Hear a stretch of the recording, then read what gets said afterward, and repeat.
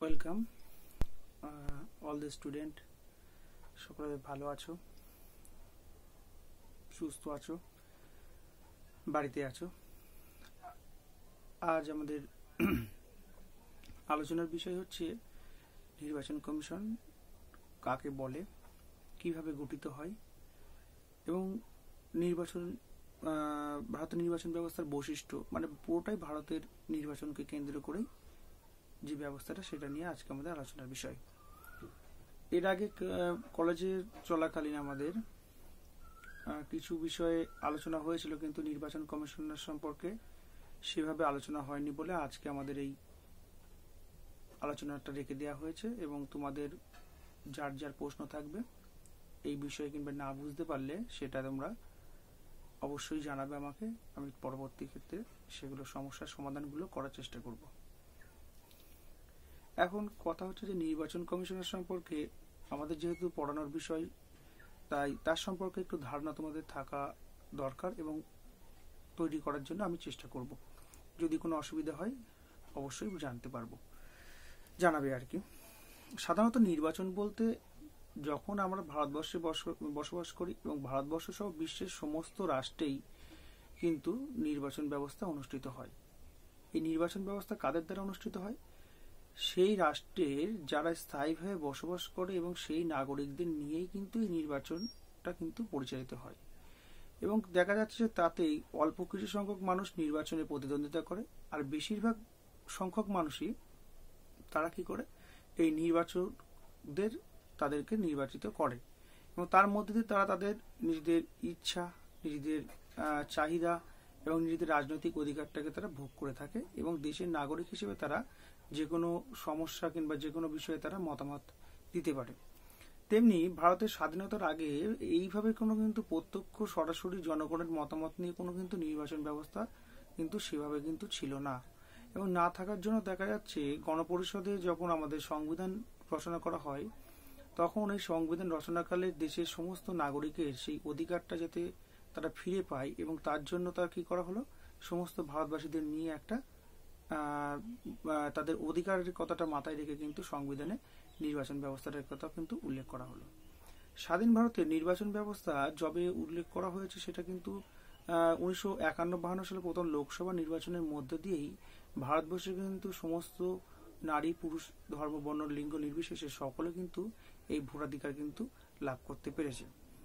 সংবিধানে তিনশো ছাব্বিশ নং ধারা অনুযায়ী বলা হয়েছে যে, ভারতবর্ষের সমস্ত সার্বজনীন তখনকার সময়ে একুশ বছর বয়সটাই ছিল কিন্তু প্রাপ্তবয়স্ক এবং সেই বয়সের যারা, সেই বয়সের যারা আসবে এবং সেই বয়সের যাদের হবে তারা কিন্তু এই নির্বাচন ব্যবস্থায় অংশগ্রহণ করতে পারবে। পরবর্তী সময়ে দেখা যাচ্ছে যে এই নির্বাচনের বয়সটা কিন্তু সংবিধানের একষট্টিতম সংবিধান সংশোধনী উনিশশো অষ্টআশি সালে সেই সংবিধান সংশোধনের মধ্যে দিয়ে কিন্তু দেখা যাচ্ছে যে সেটা বয়সটা কমিয়ে, একুশ থেকে কমিয়ে আঠারো বছর করা হয়েছে। এবার এই যে নির্বাচন ব্যবস্থায় দেখা যাচ্ছে যে সমস্ত মানুষ যারা নির্বাচনে অংশগ্রহণ করে, তার মধ্যে আঠারো বছরের কম বয়স্ক যারা, তারা নির্বাচনে অংশগ্রহণ করতে পারে না। দেউলিয়া কিংবা মস্তিষ্ক বিকৃত কোনো ব্যক্তি, তারা কিন্তু এই নির্বাচন প্রক্রিয়ার সাথে যুক্ত হতে পারে না। এই নির্বাচন প্রক্রিয়াটা সমস্তটা কিন্তু ভারতবর্ষের সমস্ত নাগরিকদের তাদের অধিকারটাকে সুরক্ষিত করার জন্য বিশাল একটা কর্মযজ্ঞের এবং যজ্ঞের কিন্তু আয়োজন করা হয়ে থাকে।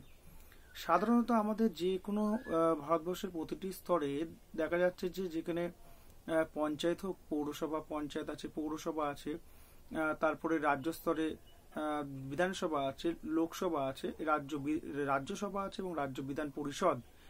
এই যে স্তরগুলোতে কিন্তু সমস্ত ক্ষেত্রে কিন্তু নির্বাচন অনুষ্ঠিত হয়ে থাকে। সেখানে দেখা যাচ্ছে যে কিছু ক্ষেত্রে প্রত্যক্ষভাবে আমরা নির্বাচিত করি, কিছু ক্ষেত্রে দেখা যাচ্ছে পরোক্ষভাবে নির্বাচিত করে থাকি। যেমন আমাদের পৌরসভা পঞ্চায়েতগুলো, সেখানে আমরা কিন্তু প্রত্যক্ষভাবে আমাদের প্রার্থীদেরকে নির্বাচিত করি। এবং পরবর্তী ক্ষেত্রে দেখা যাচ্ছে যে এছাড়া লোকসভা ও রাজ্য বিধানসভাগুলিতে কিন্তু প্রত্যক্ষভাবে জনগণের দ্বারা সার্বজনীন প্রাপ্তবয়স্ক ভোটাধিকারের ভিত্তিতে কিন্তু তারা কিন্তু ভোটদানের মাধ্যমে নির্বাচিত হয়ে থাকে। আর বাদ বাকি ক্ষেত্রে যেগুলো যেমন রাজ্যসভা কিংবা রাজ্য বিধান পরিষদ, সেগুলো কিন্তু পরোক্ষভাবে নির্বাচিত হয়। এছাড়া রাষ্ট্রপতি আছেন, তিনিও কিন্তু পরোক্ষভাবে রাষ্ট্রপতি, উপরাষ্ট্রপতি, তারাও কিন্তু পরোক্ষভাবে নির্বাচিত হয়। এবার আমাদের আলোচনার যে বিষয়, সেটা বলছে যে যে পণ্ডিত হৃদয়নাথ কুঞ্জুর একটা কথা তিনি কিন্তু বলেছেন। হৃদয়নাথ কুঞ্জরু যে কথাটা দিয়ে তিনি বলেছেন, সেটা হচ্ছে যে যদি নির্বাচন ব্যবস্থা যদি সঠিক না হয় নির্বাচন ব্যবস্থা যদি সঠিক না হয় মানে ত্রুটিপূর্ণ হয় কিংবা সুদক্ষ না হয়, তাহলে গণতন্ত্র তার উৎসেই বিষাক্ত হয়ে পড়বে। তার মানে যদি নির্বাচন ব্যবস্থাটাই কিন্তু আমরা যাদেরকে নির্বাচিত করে থাকব, তারা যদি সঠিক না হয়, তাদের কাছেই আমাদের কিন্তু সমস্ত কিন্তু চা পাওয়া এবং আমাদের ইচ্ছাগুলো কিন্তু সেই প্রতিনিধিদের মাধ্যমে পেয়ে থাকি। সেটা যদি সঠিকভাবে না হয়, তাহলে কিন্তু গণতন্ত্র বলতে জনগণের দ্বারা যে শাসন, সেই ব্যবস্থাটা কিন্তু প্রথমে শুরুতেই কিন্তু সেটা বিঘ্ন হবে এবং জড়াগ্রস্ত হয়ে যাবে। এবার আমাদের জানতে হবে যে নির্বাচন ব্যবস্থার, ভারতের নির্বাচন ব্যবস্থা তাহলে প্রার্থী যারা নির্বাচন আমরা যারা নির্বাচক মানে আঠারো বছর বয়স্ক সমস্ত ভারতীয় নাগরিক, তাদের যোগ্যতাটা কি? এবং কি থাকলে তারা এই নির্বাচন প্রক্রিয়া অংশগ্রহণ করতে পারবে? এটা তোমাদের মনে প্রশ্ন থাকতেই পারে। সেক্ষেত্রে বলা হয়েছে যে মোটামুটি ভারতের সার্বজনীন প্রাপ্তবয়স্কের ভোটাধিকার কিন্তু স্বীকৃত। কিন্তু এই অধিকার সত্যধীন নয়, তার কারণ কোনো অধিকারই সত্যধীন হতে পারে না। আলোচ্য অধিকারটিও নয়। নির্বাচনে অসাধু আচরণে যুক্ত থাকার কারণে নাগরিকদের ভোটাধিকার বাতিল করা হয়। এবার এই বাতিলের মেয়াদ হলো ছ বছর এবং জম্মু কাশ্মীরের রাজ্যের ক্ষেত্রে এই মেয়াদ হলো দশ বছর। এবার অসাধু বলতে কি বোঝায়? অসাধু জিনিসটা আগে জানতে হবে। মানে ওই ওই কাজের সাথে যুক্ত থাকলে কিন্তু তিনি আর নির্বাচনে অংশগ্রহণ করতে পারবেন না এবং নির্বাচন প্রক্রিয়া থেকে তাকে কিন্তু বহিষ্কৃত করে রাখা হবে। এই ধরনের নির্বাচনে অসাধু বলতে বোঝাচ্ছে যে উনিশশো একান্ন সালের জনপ্রতিনিধিত্ব আইন অনুযায়ী নির্বাচনের দিন নির্বাচকদের জন্য পরিবহনের ব্যবস্থা করা, উৎকোচ গ্রহণ করা নির্বাচন কেন্দ্র থেকে ভোট অপসারণ, রিগিং, বুথ দখল, বিভিন্ন ধরনের কাজগুলো হচ্ছে তোমার অসাধু কাজের সাথে যুক্ত। এই কাজের সাথে যুক্ত ব্যক্তিরা কিন্তু ভারতীয় নাগরিক হলেও তারা কিন্তু আর নির্বাচনের সাথে তাদেরকে যদি প্রমাণিত হয়, তাহলে তাদেরকে ছ বছর কিন্তু বহিষ্কৃত করে রাখা হয়, আর জম্মু কাশ্মীরের জন্য কিন্তু দশ বছর বহিষ্কৃত করে রাখা হয়। এবার আমাদের এই প্রশ্ন যে নির্বাচক মন্ডলী যারা আছে, সেই নির্বাচক মন্ডলীদের নিয়ে যে নির্বাচন কমিশনারটা আমাদের ভারতবর্ষের যে পরিচালনা করে থাকে, তাহলে আমাদের মনে প্রশ্ন থাকতে পারে যে নির্বাচন প্রক্রিয়ায় তাহলে নির্বাচন কমিশনের কিছু বৈশিষ্ট্য আছে, কি কি বৈশিষ্ট্য আছে সেগুলো একটু জানা যাক। নির্বাচন ব্যবস্থার কিছু বৈশিষ্ট্য বলতে প্রথমে আছে প্রত্যক্ষ নির্বাচন। প্রত্যক্ষ বলতে বলা- বোঝাচ্ছে এখানে সরাসরি নির্বাচন। এই সরাসরি নির্বাচন কি? এখানে সরাসরি নির্বাচন বলতে ভারতের নির্বাচন ব্যবস্থা মূলত হচ্ছে প্রত্যক্ষ নির্বাচক সদস্যরা নির্বাচক মণ্ডলীর দ্বারা প্রত্যক্ষভাবে নির্বাচিত হন। যেমন লোকসভা, রাজ্য বিধানসভাগুলির সদস্যরা নির্বাচক মণ্ডলীর দ্বারা প্রত্যক্ষভাবে কিন্তু নির্বাচিত হন। এবার লোকসভা ও রাজ্য বিধানসভাগুলি হলো হচ্ছে জনপ্রিয় কক্ষ। জনপ্রিয় বলতে কি? এখানেই জনগণের দ্বারা কিন্তু সরাসরি প্রার্থীরা নির্বাচিত হয়ে কিন্তু সেই কক্ষে আসে। এই দুটি কক্ষে জনগণের দ্বারা প্রত্যক্ষভাবে নির্বাচিত হয়। ঠিক আছে? তাহলে প্রত্যক্ষভাবে কিন্তু সব ক্ষেত্রে কিন্তু নির্বাচিত হয় না। একমাত্র রাজ্য বিধানসভা এবং এবং হচ্ছে লোকসভা, যেখানে কিন্তু জনগণ প্রত্যক্ষভাবে কিন্তু তাদের প্রার্থীদেরকে নির্বাচিত করে থাকেন। আচ্ছা তারপরের পয়েন্ট হচ্ছে বলছে যে নির্বাচন ব্যবস্থা আমি কিন্তু ভারতের নির্বাচন ব্যবস্থার বৈশিষ্ট্য প্রথম পয়েন্ট বললাম। দ্বিতীয় পয়েন্ট হচ্ছে পরোক্ষ নির্বাচন। পরোক্ষ নির্বাচন কোনগুলো? এর আগে আলোচনা করলাম, যেগুলো রাজ্য বিধানসভা রাজ্যের বিধান পরিষদ রাজ্যসভা এবং রাষ্ট্রপতি, উপরাষ্ট্রপতি নির্বাচনের ক্ষেত্রেও কিন্তু আমরা পরোক্ষভাবে কিন্তু নির্বাচিত করে থাকি। তাদেরকে তার কারণ হচ্ছে আমরা সরাসরি সেই প্রার্থীদেরকে কিন্তু ভারতীয় নাগরিক যারা নির্বাচক মণ্ডলী, তারা কিন্তু নির্বাচন করে থাকে না। এছাড়া কি বলা হচ্ছে, সর্ব তিন নম্বর পয়েন্ট বলা হচ্ছে, সর্বজনীন সার্বজনীন প্রাপ্তবয়স্ক ভোটাধিকার সার্বজনীন বলতে এখানে কিন্তু কোনো ধর্ম, বর্ণ, লিঙ্গের ভিত্তিতে কোনো ব্যক্তিকে কিন্তু ভারতবর্ষের আঠারো বছর প্রাপ্তবয়স্ক ব্যক্তিদেরকে কিন্তু নির্বাচন প্রক্রিয়া কিন্তু বাইরে রাখা হয় না। তার কারণ কি? নির্বাচন প্রক্রিয়ায় কিন্তু কোনো এখানে ভেদাভেদ নেই। জাতিগতভাবে ধর্মের ভিত্তিতে কোনো কিন্তু ভেদাভেদ রাখা হয়নি এবং এখানে আঠারো বছর প্রাপ্তবয়স্ক সমস্ত ব্যক্তি কিন্তু নির্বাচন প্রক্রিয়ার সাথে যুক্ত হতে পারে এবং তারা নির্বাচনের প্রার্থীও হতে পারে এবং নির্বাচন প্রক্রিয়াটাকে তারা সুষ্ঠুভাবে কিন্তু তাদের নিজের অধিকারটা কিন্তু, রাজনৈতিক অধিকারটা কিন্তু ভোগ করতে পারে। সেই জন্য সংবিধানের তিনশো ছাব্বিশ নম্বরাই ভারতের সার্বজনীন প্রাপ্তবয়স্কের ভোটাধিকার কিন্তু স্বীকৃতি হচ্ছে ইউনিভার্সাল অ্যাডাল্ট সার্ফেজ এবার এই যে বলা হচ্ছে যে এর পরের পয়েন্ট হচ্ছে মাথা পিছু একটি ভোটের নীতি। মানে আগেকার দিনে দেখা যেত আমরা যে গ্রিস দেশে কিংবা আগের যে যে ভোটদান প্রক্রিয়াটা দেখা যেত, অনেক দেশে কিন্তু সেটা ছিল। যেখানে দেখা যেত যেখানে মানুষের অর্থে যার যেমন যার যেমন সম্পত্তি আছে কিংবা যার ভুয়া প্রতিপত্তি সমাজে যেমন, তার উপরে ভিত্তি করে সে কিন্তু ভোটদান দিতে পারতো। তার মানে সে একের অধিক কিন্তু ভোট দিতে পারতো। ফলে দেখা যাচ্ছে যে সমাজের মধ্যে কিন্তু একটা বৈষম্য দেখা দিত। যারা সমাজে একদম নিম্ন শ্রেণির মানুষ, তাদেরকে কিন্তু ভোটদানের অধিকার অনেকে বঞ্চিত হতো এমনকি যারা অল্প কিছু আয় সম্পন্ন ব্যক্তি তারা একটা ভোট দিতে পারতো, যাদের বেশি আয় তারা অনেক বেশি ভোট দিতে পারতো। তার ফলে দেখা যাচ্ছে ভোটদান প্রক্রিয়ার সাথে কিন্তু পুরোপুরি বৈষম্য প্রক্রিয়া একটা যুক্ত থাকতো। কিন্তু পরবর্তীকালে দেখা গেল যে ভারতবর্ষ সহ বিশ্বের বিভিন্ন দেশে মাথা পিছু একটি করে ভোটের নীতি। মানে সে তুমি অল্প বয়স, প্রাপ্তবয়স্ক আঠারো বছর হলেও বা কি, আর তুমি তার ঊর্ধ্বে মৃত্যুর আগের দিন পর্যন্ত যবেই মানুষ বেঁচে যতদিন বেঁচে থাকবে, সে কিন্তু একটি ভোট দিতে পারবে। এবার সেক্ষেত্রে কিন্তু এখানে অর্থকে কিংবা শিক্ষাগত যোগ্যতাকে কিন্তু এখানে মানদণ্ড হিসেবে রাখা হয়নি। যার ফলে দেখা যাচ্ছে প্রত্যেক মানুষই কিন্তু জাতি, ধর্ম, বর্ণ, লিঙ্গ নির্বিশেষে প্রত্যেকে একটি করে কিন্তু ভোটদান করতে পারে। এরপরে আসছে আমাদের পরের নীতি সমপ্রতিনিধিত্বের নীতি। সমপ্রতিনিধিত্বের নীতি বলতে যে আমাদের ভারতবর্ষের আমরা যদি ভারতবর্ষের যেহেতু একটা রাজ্য রাজ্যসমূহের ইউনিয়ন রাজ্য রাজ্যসমূহের ইউনিয়ন, ভারতকে কিন্তু কোনো কিন্তু এখানে কিন্তু যুক্তরাষ্ট্র নয়। যেহেতু ভারত একটি রাজ্যসমূহের ইউনিয়ন, যদি যুক্তরাষ্ট্র হতো তাহলে দেখা যেত যে ভারতবর্ষের সমস্ত অঙ্গরাজ্য বর্তমানে আঠাশটি অঙ্গরাজ্য উনত্রিশটি ছিল। তার কারণ হচ্ছে একটি জম্মু কাশ্মীর, সেটাকে ভাগ করে এখন লাদাখ এবং জম্মু কাশ্মীর যেটা ভাগ করার জন্য কেন্দ্রশাসিত অঞ্চলের সংখ্যা এখন সাত থেকে হয়েছে নয়। এবং এই জন্য দেখা যাচ্ছে যে- আঠাশটি অঙ্গরাজ্য রয়েছে, সেই আঠাশটি অঙ্গরাজ্যের তাদের কিন্তু সমপ্রতিনিধিত্ব থাকতো। তাতে দেখা যেত যে ছোট রাজ্যই হোক এবং বড় রাজ্যই হোক, সেখানে কিন্তু সমান সংখ্যক প্রতিনিধি থাকতো। কিন্তু ভারতবর্ষের ক্ষেত্রে কিন্তু এইরকম কোনো যুক্তরাষ্ট্র নীতি কিন্তু মানা হয়নি। সেই জন্য দেখা যাচ্ছে যে ভারতবর্ষে কিন্তু সেটা জনসংখ্যার নিরিখে কিন্তু ডিভাইডেড করা হয়েছে মানে সমপ্রতিনিধিত্ব মানে জনসংখ্যা সমস্ত দেশের সমস্ত রাষ্ট্রের কিন্তু জনসংখ্যাকে একটা ডিভাইডেড করে তার প্রতিনিধি দিয়ে সেই অনুযায়ী কিন্তু লোকসভার এবং রাজ্য বিধানসভাগুলির কিন্তু প্রতিনিধিরা নির্বাচিত হয়ে থাকেন। এবং এক্ষেত্রে দেখা যাচ্ছে যে এক্ষেত্রে কিন্তু নির্বাচনী এলাকা টেরিটোরিয়াল কনস্টিটিউশনে বিভক্ত করা হয়েছে এবং সমগ্র দেশকে কতগুলো নির্বাচনী এলাকায় ভাগ করা হয়েছে। এর পরের পয়েন্টটা আসছে অনগ্র জাতিগুলির জন্য আসন সংরক্ষণ। অনগ্রসর জাতিগুলি বলতে মানে দেখা যাচ্ছে সমাজে পিছিয়ে পড়া, যারা সমাজে মূল থেকে অনেক পিছিয়ে, কিসের দিক দিয়ে পিছিয়ে আছে? হয় তারা আর্থিক দিক থেকে, তারা শিক্ষাগত দিক থেকে তারা অনেক পিছিয়ে আছে, তাদেরকে সমাজে মূল স্রোতে ফিরিয়ে আনার জন্য সরকার থেকে এবং পার্লামেন্ট থেকে আইন প্রণয়ন করে তাদের জন্য একটা নির্দিষ্ট সংখ্যক সিট কিন্তু রাজ্য বিধানসভাগুলির রাজ্য লোকসভাগুলি আছে এবং পঞ্চায়েত আছে, পৌরসভায় তাদের জন্য কিন্তু নির্দিষ্ট সংখ্যক সিট কিন্তু প্রদান করা হয়েছে।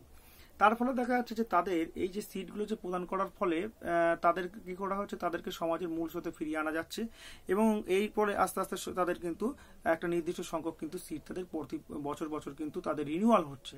মানে রিনিউয়াল বলতে ধরো দেখা যাচ্ছে যে এই সিটটা আমাদের যখন ভারতবর্ষের যে দু পাঁচশো পঞ্চাশ যে বর্তমানে পাঁচশো বাহান্নটি যে লোকসভার যে সিট, সেটা কিন্তু উনিশশো একাত্তর সালের জনগণনা অনুযায়ী কিন্তু, সেটা কিন্তু ঠিক করা রয়েছে। তার পরবর্তী সময়ে কিন্তু আর নতুন করে কোনো সিট কিন্তু যুক্ত করা হয়নি। যেহেতু জনসংখ্যা বৃদ্ধি পেয়েছে, সেই তুলনায় কিন্তু ভারতবর্ষের লোকসভা এবং রাজ্য বিধানসভাগুলির কিন্তু সিট সংখ্যা কিন্তু অনেক কিন্তু বৃদ্ধি পাবে। তাই দেখা যাচ্ছে যে সেটাকে কিন্তু সেই উনিশশো একাত্তর সালের জনগণনা অনুযায়ী সেই লোকসভার এবং রাজ্য বিধানসভাগুলির তপশিলি জাতি, উপজাতিদের এবং অ্যাংলো ইন্ডিয়ান মানে ইন্দো, ইঙ্গো ভারতীয়দেরকে কিন্তু যে আসন সংরক্ষণ, সেটা কিন্তু বছরের পর বছর কিন্তু রিনিউয়াল করা হয়েছে এবং আজকে কিন্তু দু সাল পর্যন্ত কিন্তু সেটা কিন্তু রয়েছে। সেটা দু সালের পঁচিশে জানুয়ারি কিন্তু শেষ হয়েছে এবং তারপরে আবার বাড়ানো হয়েছে। বাড়ানোর পরে দু হাজার কুড়ি সালের পঁচিশে জানুয়ারি পর্যন্ত ছিল, সেটাকে আবার বাড়ানো হয়েছে। ফলে দেখা যাচ্ছে যে সমাজের মূল স্রোতে ফিরিয়ে আনার জন্য তপশিলি জাতি, উপজাতিদের, তাদের যে আসন সংখ্যা আগে ছিল হচ্ছে তোমার উনআশিটি আসন ছিল লোকসভায় তপশিলীদের এবং তপশিলি উপজাতিদের জন্য ছিল হচ্ছে চল্লিশটি আসন কিন্তু সংরক্ষণ ছিল। বর্তমান আর বিধানসভাগুলোর জন্য ছিল হচ্ছে পাঁচশো সাতান্নটি এবং তপশিলীদের জন্য, এসসিদের জন্য এবং এসটিদের জন্য হচ্ছে তিনশো তিনটি। কিন্তু এটা কিন্তু পরবর্তীকালে কিন্তু এই সংখ্যাটা কিন্তু অনেক বৃদ্ধি পেয়েছে। বর্তমানে রাজ্য লোকসভার ক্ষেত্রে এসসিদের জন্য কিন্তু আসন সংরক্ষণ হচ্ছে চুরাশিটি এবং রাজ্য বিধানসভাগুলির এবং এবং হচ্ছে এসটিদের জন্য কিন্তু আসন সংরক্ষণ হচ্ছে সাতচল্লিশটি, ফর্টি সেভেন।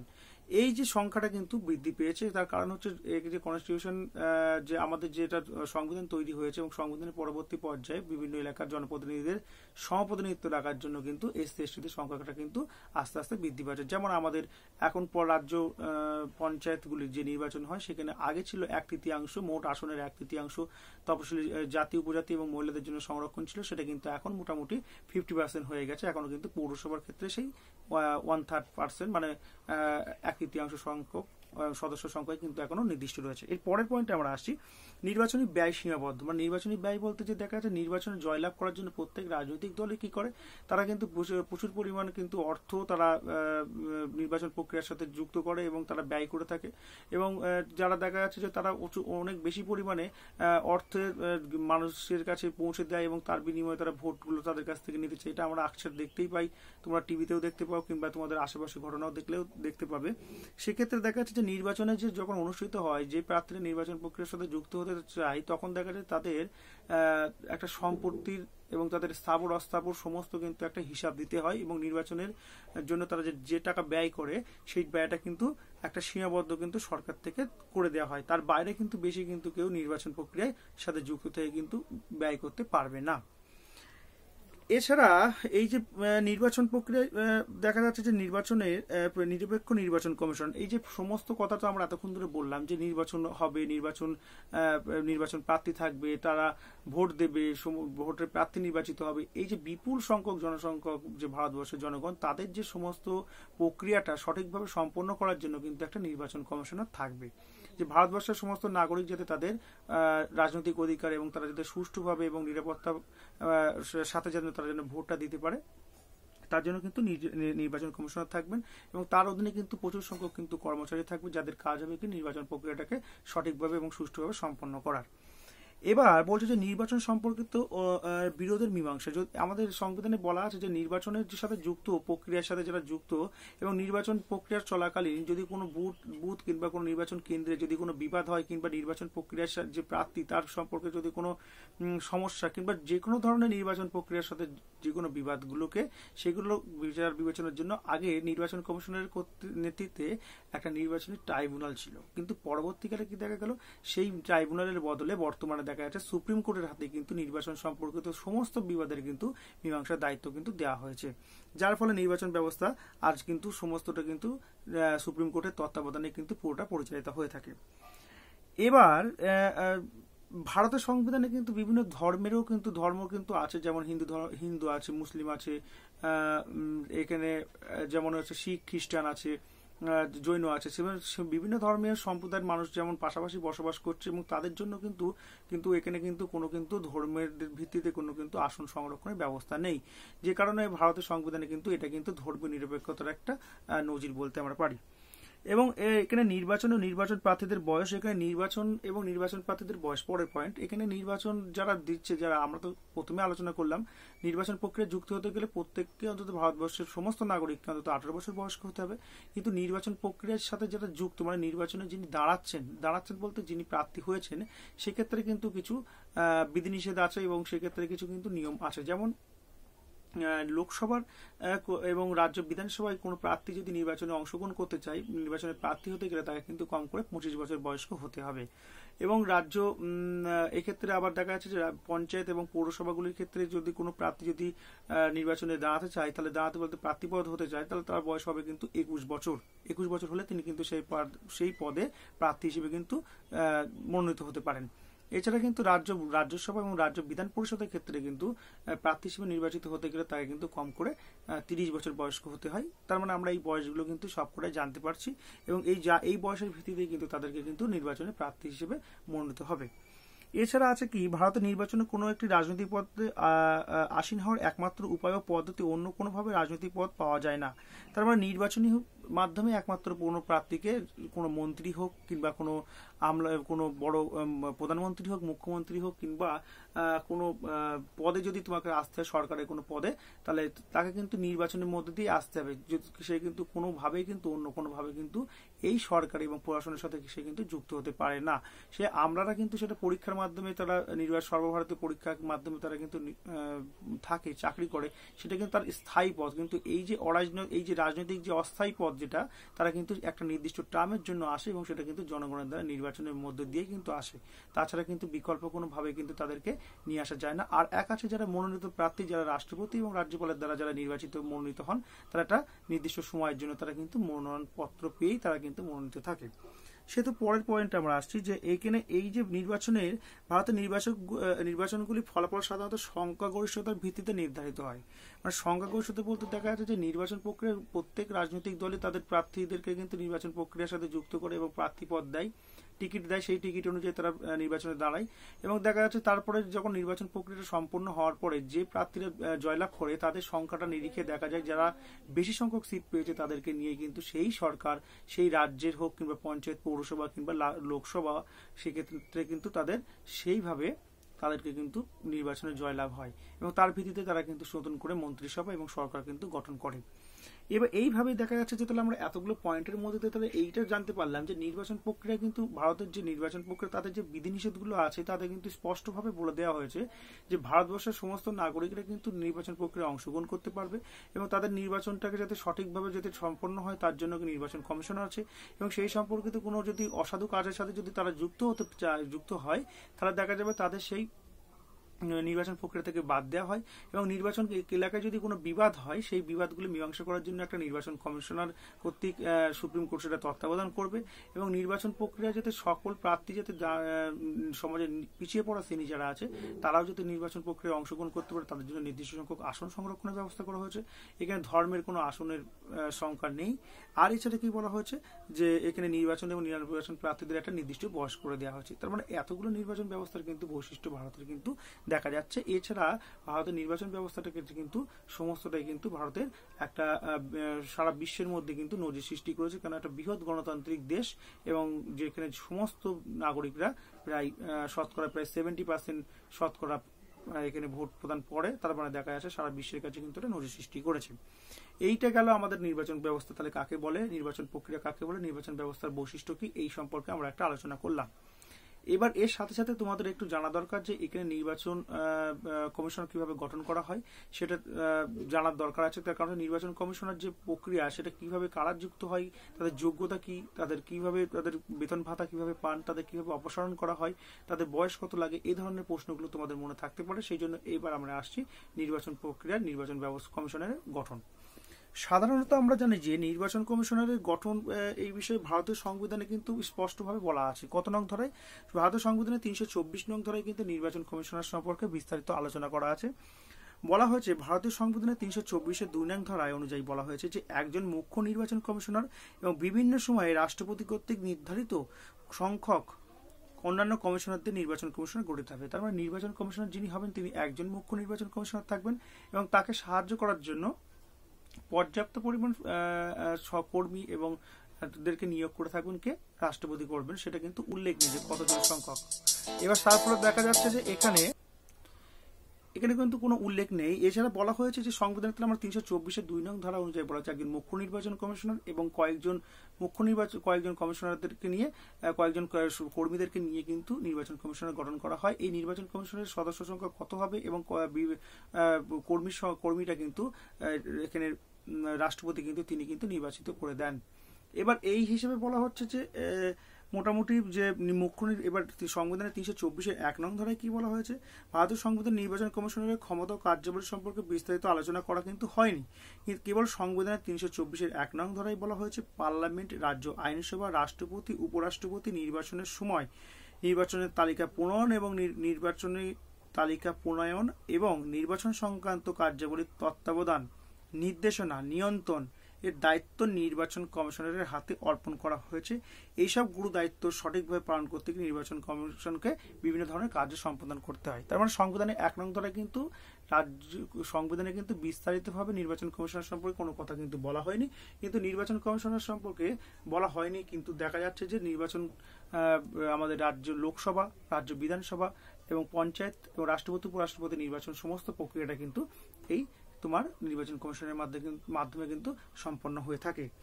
এছাড়া নির্বাচন কমিশনের তিনশো চব্বিশের তিন নং ধারায় বলা হয়েছে, নির্বাচন কমিশনারের সদস্য সংখ্যা যদি একাধিক হলে মুখ্য নির্বাচন কমিশনার কমিশনারের সভাপতি হবেন। তার মানে তিনি প্রধান হবেন একজন, একজনকে প্রধান হবে এবং বাদবাকি অন্যজনেরা তার অনুসরণ মানে সহযোগী হিসেবে কিন্তু কাজ করবে। এবার দেখা যাচ্ছে যে সংবিধানে আমাদের যে প্রথমে যে মুখ্য নির্বাচন কমিশনার এবং অন্যান্য কমিশনারদের নিয়েই কিন্তু নির্বাচন কমিশনার কিন্তু গঠন করা হয়েছিল। কিন্তু পরবর্তীকালে দেখা গেল যে নির্বাচন কমিশনারের যিনি সভাপতি বা মুখ্য নির্বাচন কমিশনার, তার কিছু কর্মসূচি এবং তার কিছু পদক্ষেপের জন্য ভারতের সংবিধানে এবং ভারতের লোকসভায় কিন্তু এই বিষয়ে কিন্তু বিস্তারিত বিভিন্ন সময়ে কিন্তু বিবাদ এবং বিভিন্ন সময়ে কিন্তু বিতর্কের কিন্তু সৃষ্টি হয়েছে। যেমন আমরা কিছু একটা একটা বিষয় তোমাদের জেনে রাখা দরকার, তাহলে এখানে এই বিষয়টা উল্লেখ করলেই বুঝতে পারবে যে সংবিধানে বলেছে যে উনিশশো উননব্বই সালের অক্টোবর মাসের নবম লোকসভা নির্বাচনের দিন ঘোষণার মাত্র ঘোষণার মাত্র একদিন পূর্বে তদানীন্তন মুখ্য নির্বাচন commissioner R V S Peri শাস্ত্রীর অধীনে সর্বপ্রথম নতুন দুজন নির্বাচন কমিশনারকে নিয়ে নিয়োগ করা হয়। এরা হলেন এস এস ধাওয়ান, ধানওয়া ও ভি এস সাইগাল। এই ওই নির্বাচনে কংগ্রেস দল পরাজিত হয় এবং রাষ্ট্রীয় মোর্চা সরকার গঠন করে। রাষ্ট্রীয় মোর্চা সরকার হচ্ছে কে? বিশ্বনাথ প্রতাপ সিং এর নেতৃত্বে রাষ্ট্রীয় মোর্চা সরকার গঠন করা হয়। নতুন সরকার উনিশশো নব্বই সালে পয়লা জানুয়ারি ওই দুজন নির্বাচন কমিশনারকে তাদের দায়িত্ব থেকে অব্যাহত দেয়। তার মানে তার আগে অবধি কিন্তু একজনই মুখ্য নির্বাচন কমিশনার ছিল, তাই দিয়ে কাজ চলছিল। কিন্তু পরবর্তীকালে দেখা যাচ্ছে যে সেই মুখ্য নির্বাচন কমিশনার তার কাজের পরিধি বৃদ্ধি পাওয়ার জন্য নতুন দুজনকে নিয়োগ করা হয় এবং দেখা যাচ্ছে যে এটা অস্থায়ী এবং সাময়িকভাবে পরবর্তী সময় তাদেরকে সেই প্রক্রিয়া থেকে যখন নির্বাচন প্রক্রিয়া অনুষ্ঠিত মানে কমপ্লিট হয়ে যায়, তারপরে কিন্তু তাদেরকে সেই পদ থেকে তাদেরকে ইস্তফা দেওয়া মানে অব্যাহতি দেওয়া হয়। এরপর উনিশশো তিরানব্বই সালে প্রথম কিন্তু বহু সদস্য বিশিষ্ট কমিশনের ধারণা চালু করা হয়। বহু সদস্য বিশিষ্ট মানে মুখ্য নির্বাচন কমিশনার সহ আরও দুজন আধিকারিক থাকবেন, তারাও কিন্তু সেই মুখ্য নির্বাচন কমিশনারের সমকক্ষ। কেন এই বিতর্কটা হলো?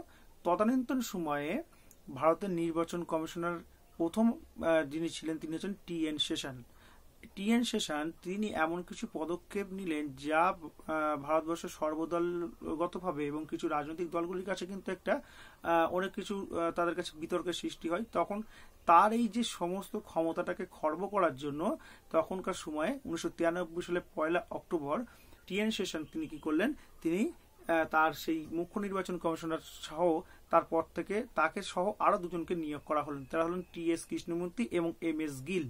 যে দুজনকে নিয়োগ করা এবং বলা হয় যে তারা দুজনে কিন্তু মুখ্য নির্বাচন কমিশনারের সমকক্ষ।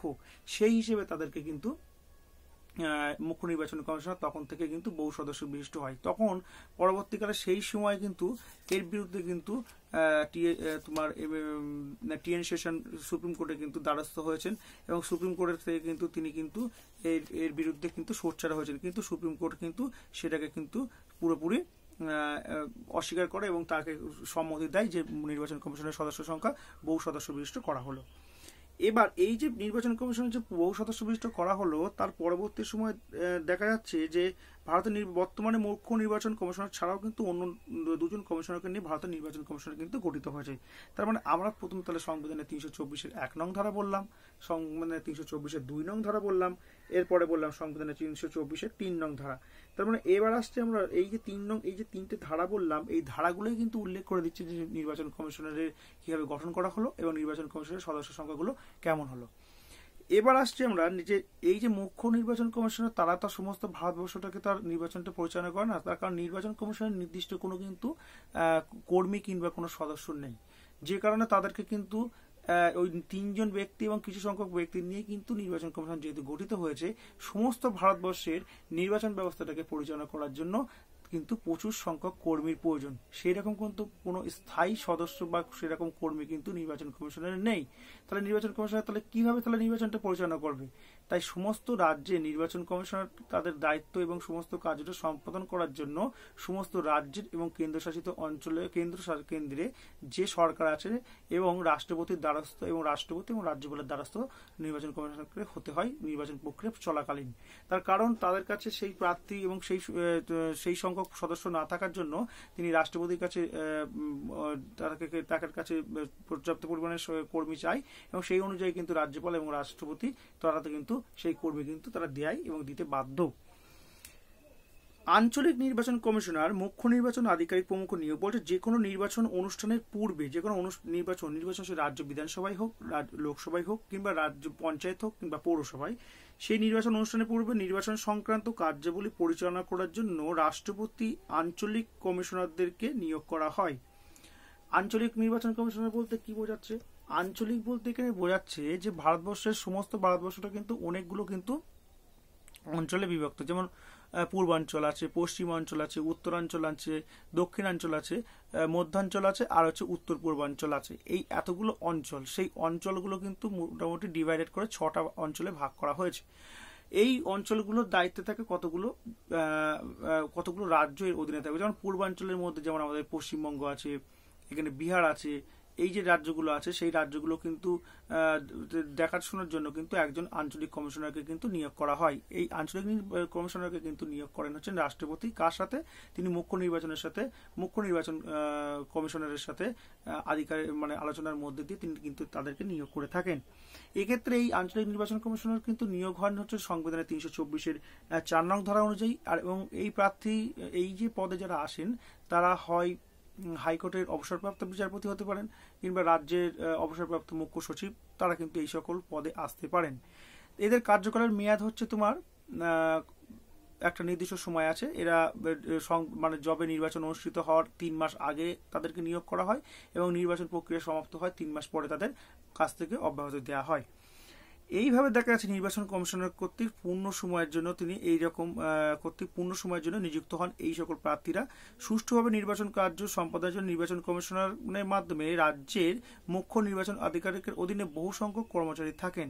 আবার আমাদের পরবর্তী পর্যায়ে দেখা যাচ্ছে, যেরকম আঞ্চলিক নির্বাচন কমিশনার তো একটা অঞ্চলের অধীন অনেকগুলো রাজ্য আছে, সেই রাজ্যের কে পরিচালনা করার জন্য একজন আঞ্চলিক থাকে, নির্বাচন কমিশনার।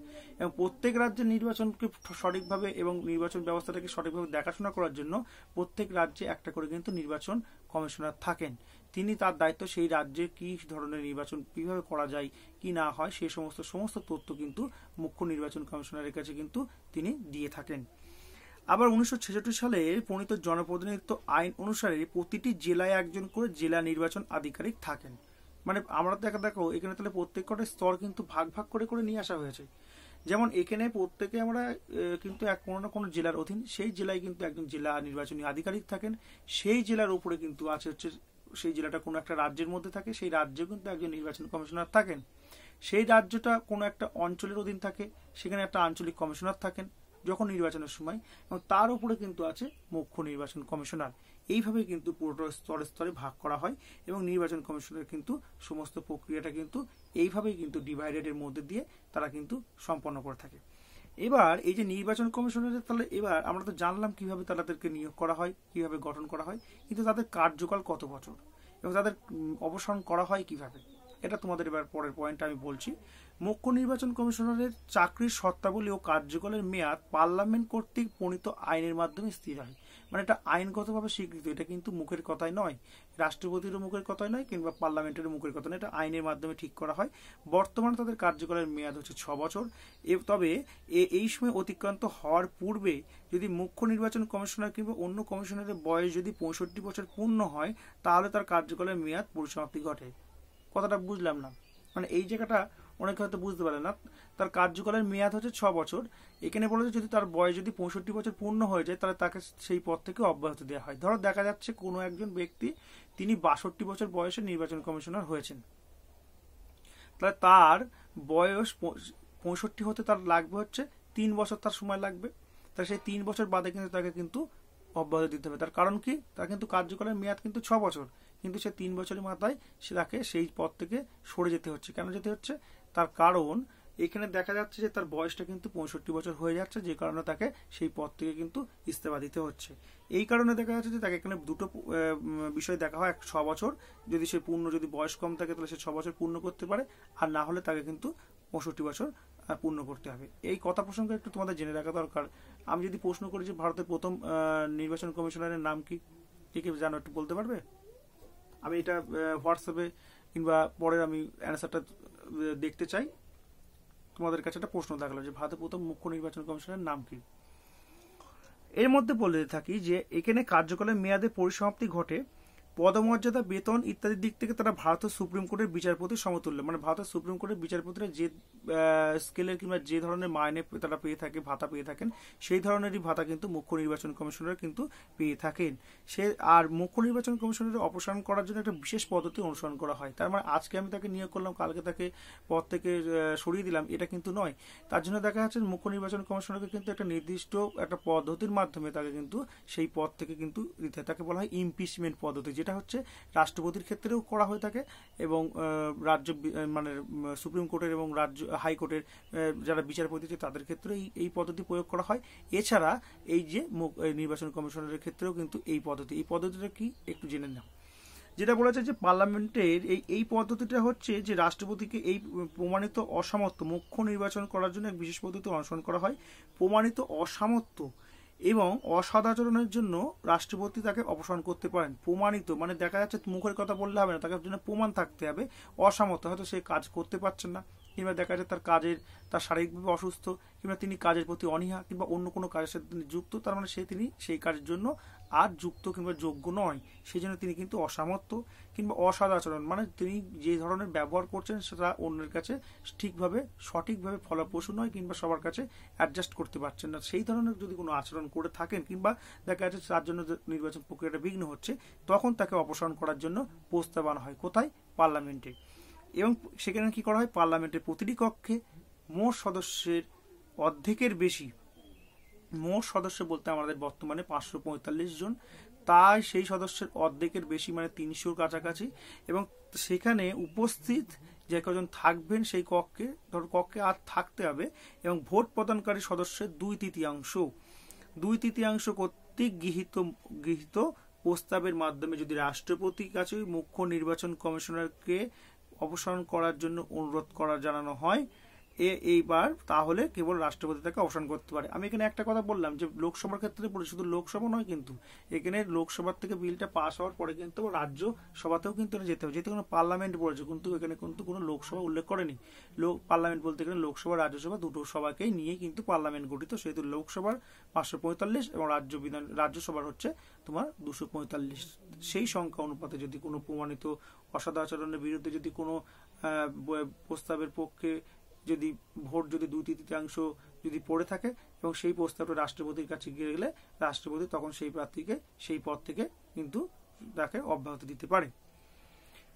এছাড়া, এটা তো মুখ্য নির্বাচন কমিশনারে বললাম, কিন্তু অন্যান্য যে কমিশনার, অন্যান্য বলতে কারাদেরকে বোঝানো হচ্ছে? অন্যান্য বলতে কিনে বোঝানো হচ্ছে তোমার যেমন হচ্ছে আঞ্চলিক নির্বাচন কমিশনার, রাজ্য নির্বাচন কমিশনার, যে পদের যারা যারা আছেন, তাদেরকে নিয়ে কিন্তু অবসান করতে পারেন কিন্তু রাষ্ট্রপতি। কিন্তু সেই অবসান করার আগে তাকে কিন্তু রাষ্ট্রপতিকে কিন্তু মুখ্য নির্বাচন কমিশনারের সাথে কিন্তু আলোচনার পরেই কিন্তু তাকে কিন্তু সেই পদ থেকে তাকে কিন্তু নির্বাচন, তাকে কিন্তু অপসারিত করতে পারেন। এছাড়া পরের পয়েন্ট আমরা আসছি যে তাদের স্বাধীনতা ও নিরপেক্ষতা। মানে যে নির্বাচন কমিশনারকে তো আমরা নিয়োগ করলাম, তিনি যে স্বাধীনভাবে কাজ করতে পারছেন কি? এবং যদি স্বাধীনভাবে কাজ করতে এবং তার নিরপেক্ষতা কথা তিনি যদি পক্ষপাতিত্ব করে থাকেন কিংবা কোনো দলের হয়ে তিনি যদি নিজেকে যদি পক্ষপাতিত্ব করে থাকেন, তাহলে সেইটা কিন্তু নির্বাচন ব্যবস্থা কিন্তু পুরোপুরি কিন্তু অনেকভাবে কিন্তু ক্ষতিগ্রস্ত হবে। তাই জন্য দেখা যাচ্ছে তার কিছু কিন্তু টার্মস আছে। তাই তার মানে নির্বাচন কমিশনের কিন্তু স্বাধীনতা নিরপেক্ষতা সম্পর্কে এবার একটু বলি, তাহলে বুঝতে পারবে। যেমন মুখ্য নির্বাচন কমিশনের অপসারণ করার জন্য বিশেষ পদ্ধতি অনুসরণ করতে হয়। প্রমাণিত অসামর্থ্য কিংবা অসদাচরণের জন্য রাষ্ট্রপতি তাকে অপসারণ করতে পারেন।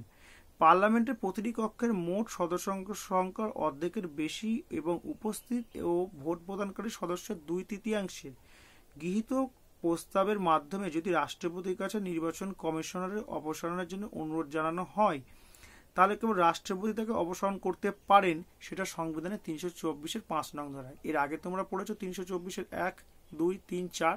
চারে গিয়ে আমরা সীমাবদ্ধ ছিলাম, তারপরে পাঁচে হচ্ছে তার অপসারণের বিষয়ে আলোচনা করা হয়েছে। এবার বলছে নির্বাচন কমিশনারের অন্যান্য আঞ্চলিক নির্বাচন কমিশনারকে রাষ্ট্রপতি অপসারণ করতে পারলেও এক্ষেত্রে তিনি কিন্তু মুখ্য নির্বাচন কমিশনারের সাথে আলোচনা করবেন। এটা তো বলল সবটা সংবিধানের তিনশো চব্বিশের পাঁচ নং ধারা অনুযায়ী। এবার নির্বাচন কমিশনারের নিরপেক্ষতা বজায় রাখার জন্য দেখা যাচ্ছে যে তাকে নিয়োগের পর মুখ্য নির্বাচন কমিশনারের চাকরির শর্তাবলী এমনভাবে পরিবর্তন করা যাবে না যাতে তার স্বার্থ ক্ষুণ্ণ হওয়ার আশঙ্কা থাকে। মানে দেখা যাচ্ছে তাকে নিয়োগ করলাম আজকে। নিয়োগ করার পরে দেখা গেল তাকে যে স্কেলের টাকা দেওয়া কিংবা যে ধরনের সুযোগ সুবিধা, তার বেতন ভাতা, তার বাড়ির ভাড়া কিংবা তার তার বাড়ির সমস্ত খরচা কিংবা তিনি যে কোনো জায়গায় যে কোনো মিটিং কিংবা কোনো রাজ্যে যাওয়ার জন্য যে খরচা, বিভিন্ন ধরনের যে তার যে কাজ, সেইগুলো যদি পরিবর্তন করা হয় যারা নিয়োগ করার পরে বলল, আমরা এগুলো দেবো না। তাহলে কিন্তু তারা কিন্তু, একটা কিন্তু আশঙ্কা, তার স্বার্থ কিন্তু খুন নয় যে যে, আমি যে পদের জন্য নিয়োগ হলাম, আমাকে সেই পদের জন্য দেওয়া হলো না। তার ফলে তার কিন্তু একটা অসন্তোষ থাকে, সেটা কিন্তু ক্ষুণ্ণ হতে পারে। এছাড়া বলা হচ্ছে যে নির্বাচন কমিশনার তার দায়িত্ব যাতে যথাযথভাবে সম্পাদন করতে পারে, সেজন্য রাষ্ট্রপতি, রাজ্যপালেরা প্রয়োজনীয় সংখ্যক কর্মচারী কর্মচারী ব্যবস্থা করেন। তার মানে দেখা যাচ্ছে যে রাজ্য মানে নির্বাচন কমিশনারের কিন্তু কোনো নির্দিষ্ট কিন্তু কোনো পরীক্ষার মাধ্যমে হোক কিংবা অন্য কোনো মাধ্যমে তাদেরকে কিন্তু কোনো প্রার্থী কিন্তু নেই। যে কারণে দেখা যাচ্ছে যে তাদেরকে সেই আমাদের যখন নির্বাচন অনুষ্ঠিত হয় আমাদের রাজ্যে, তোমরা দেখে থাকবে যে তোমাদের কলেজ, স্কুল আশেপাশের সমস্ত স্কুলগুলো যখন নিয়ে নেওয়া হয়, তখন দেখবে সেখানে যে নির্বাচন হয়, সেই নির্বাচন কারা সেই সকল প্রার্থী কারা? কলেজের, স্কুলের বিভিন্ন টিচাররা, তারা কিন্তু সেই ভোট প্রক্রিয়াটাকে সম্পন্ন করার জন্য তারা ভোট কেন্দ্রে যান। তারা রিটার্নিং অফিসার হয়ে যান, তারা বিভিন্ন সেক্টরে যান এই কারা, এই সকল প্রার্থীগুলো কিন্তু সেই রাজ্যেরই যারা কর্মচারী, সরকারি কর্মচারী আছে, তাদের কাছকে নিয়েই কিন্তু নির্বাচন প্রক্রিয়াটা সম্পন্ন করা হয়। আবার নির্বাচন প্রক্রিয়া যখন সম্পন্ন হয়ে যায়, তখন আবার তারা যে যার কাজে, যে যার যুক্ত, তাদেরকে সেই কাজের সাথে যুক্ত করা রেখে দেওয়া হয়। তার মানে নির্বাচন কমিশনের কিন্তু কোনো নির্দিষ্ট সংখ্যক কিন্তু নির্দিষ্ট কোনো স্থায়ী সদস্য নেই। এই যে সমস্তটা কিন্তু একদম পুরোপুরি রাজ্যের হলে রাজ্যপালের কাছ থেকে এবং কেন্দ্রের সমস্ত রাজ্যের যখন লোকসভা ভোট হয় রাষ্ট্রপতির কাছে কিন্তু পর্যাপ্ত সংখ্যক কর্মচারীর কাজ জন্য আবেদন করে থাকেন। রাষ্ট্রপতি এবং রাজ্যপালেরা সেই কর্মচারী কিন্তু তারা দিয়েতে বাধ্য থাকেন। তার কারণ তা না হলে নির্বাচন প্রক্রিয়া সঠিকভাবে সম্পন্ন হবে না। তার পরবর্তী সময় দেখা যাচ্ছে যে এরপরে যখন নির্বাচন প্রক্রিয়া আমরা তো এই যে গঠন প্রক্রিয়া জানলাম, এছাড়া কিন্তু নির্বাচন প্রক্রিয়া কিন্তু একটা বিশাল কর্মযোগ্য। এখানে দেখা যাচ্ছে যে প্রত্যেক মানুষের সাথে প্রত্যেক মানুষের বিবাদ এবং প্রত্যেক রাজনৈতিক দলের সাথে রাজনৈতিক দলের যে বিবাদ, আমরা তা সেটা মিডিয়ায় দেখতে পাই। আমরা আশেপাশে আমাদের যে নির্বাচন প্রক্রিয়া যখন হয় তখন আমরা শুনতে পাই কিংবা দেখতে পাই, সেটা কিন্তু খুবই একটা কিন্তু ভয়াবহ পরিস্থিতি হয়। তাই যে নির্বাচন প্রক্রিয়া, যেটা প্রক্রিয়াটা যে সম্পন্ন করতে গিয়ে বিভিন্ন মিডিয়ার যেমন আজকে আমাদের কাছে নির্বাচন কমিশনের দায়ী মানে দ্বারস্থ হচ্ছেন, তেমনি সমস্ত ভারতবর্ষের কিন্তু মানুষজন কিন্তু এই প্রক্রিয়ায় সামিল হতে কিন্তু নিজেদেরকে রাজনৈতিক অধিকারটা ভোগ করতে সমর্থ হয়। এই দিয়ে আছে কিন্তু আমাদের নির্বাচন কমিশনের যে আমাদের আলোচনার বিষয় ছিল, নির্বাচন ব্যবস্থা কাকে বলে, সার্বজনীন প্রাপ্তবয়স্ক ভোটাধিকার কাদের দেওয়া হয়েছে, নির্বাচন প্রার্থীদের যোগ্যতা কি, তাদের কোন বয়সে তারা যোগ্যতা হতে পারে নির্বাচন ব্যবস্থার বৈশিষ্ট্যটা বললাম আর ভারতের নির্বাচন কমিশনের গঠনটা বললাম তার কার্যকাল বললাম এবং তার মেয়াদ এবং ভাতা এবং তার নিরপেক্ষতা এবং স্বাধীনতা সমস্ত বিষয়টা কিন্তু আমরা আজকে এখানে আলোচনা করলাম। এর পরবর্তীতে আমরা নির্বাচন কমিশনারের আহ, ক্ষমতা ও কার্যাবলী সেটা নিয়ে আলোচনা করব। ঠিক আছে? সবাই ভালো থাকবে। যদি কোনো সমস্যা কিংবা যদি কোনো কোয়ারি থাকে কোনো কোশ্চেন থাকে অবশ্যই হোয়াটসঅ্যাপে প্রত্যেকে মেসেজ করে জানাবে। Thank you